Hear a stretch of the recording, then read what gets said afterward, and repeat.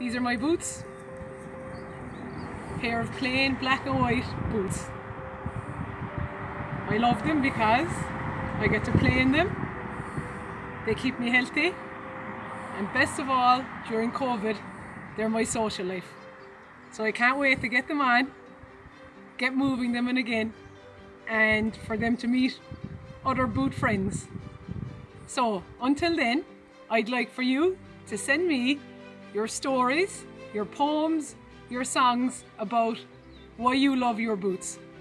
I love my boots because they're my ticket to friends and a social life. Looking forward to hearing about yours.